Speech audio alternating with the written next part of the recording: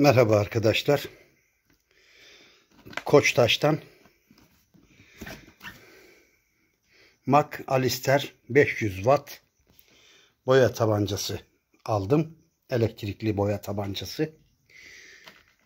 Öncelikle kutu içeriğini bir görelim. Tabii ben daha önce açtım, kontrol ettim. Ee, şimdi şu hava hortumumuz. Makineden tabancaya gelen hava hortumu. Şu tabancamız. Bu tabancanın kazanı alüminyum parça. Ee, boya tabancasının ön kısmındaki memeleri falan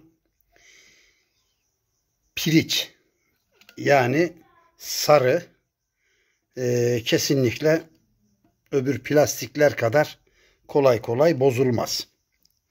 Plastikler e, zaman zaman tiner eritebiliyor ve o zaman çalışmıyor. Şu bu süzgeç arkadaşlar bakın bu olayın püf noktası bu. İlk aldığımda bunu kullanmadım. Bunu süzgeç diye verdiler. Bakıyorum sade arkasında bir delik var. Yani herhangi bir tel süzgeç falan yok. Bu dedim çok bir saçmalık. Ve bunu kullanmadan boyayı doldurdum. Hakikaten boyayı atmadı.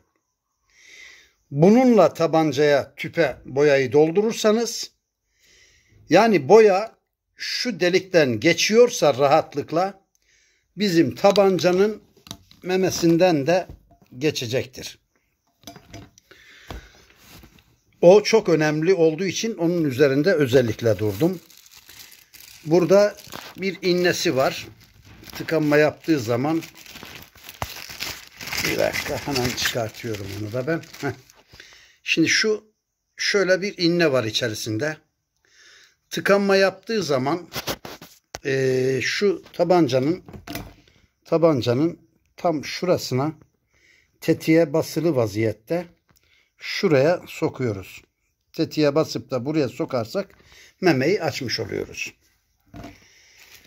Ee, şu tabancanın kendisi şöyle yapalım. şey kompresörün kendisi bu. Şimdi hava hortumunun bir ucunu e, şu ince ucunu bir saniye bir ince ucunu şuraya takıyoruz şuraya takıp şuraya takıp ve çeviriyoruz. Bakın takıldı.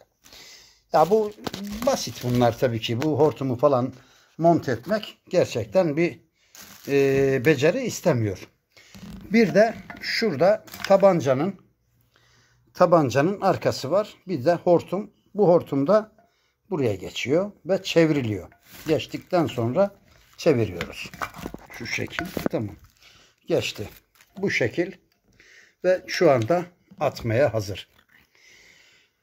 Söylediğim gibi özellikle bunun şu filtre dediği ya da süzgeç dediği olay gerçekten bu çok önemli. Yani bu duvara e, su bazlı boya, plastik boya falan atacaksan boyayı bunun deliğinden tabancaya dolduracağın şekilde inceltmen gerekiyor.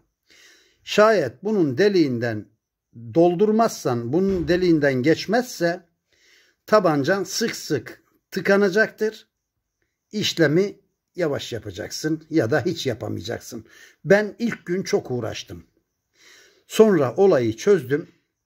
Şu anda buyurun bakalım boyayı nasıl atıyor.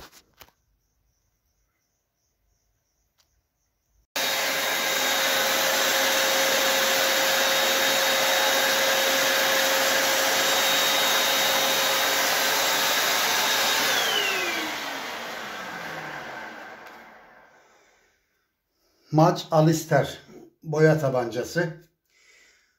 Bunu Koçtaş'tan aldım. İlk aldığımda e, boyayı atmadı. Sıkıntı yaşadık. Bayağı bir tıkanma yaptı. Fakat bunun burada ince ayarları var. bu ayarlarını kullanarak bir de boyayı tabancanın kabına doldururken bunun bir kendine özgü süzgeci var. O süzgecini kullandıktan sonra artık sorun yaşamadım. Çok rahat, çok da güzel, çok da güzel atıyor boyayı.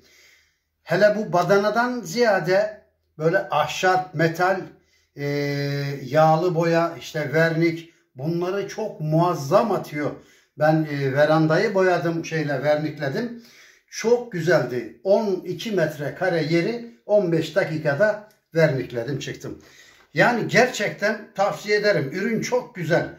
Ben böyle üfleyeceğini, böyle atacağını hiç tahmin etmiyordum. Ama gördüğünüz gibi yani dakikalar içerisinde yani bir de benim ruloyla da yapıyorum ama ruloda genelde iz kalıyor.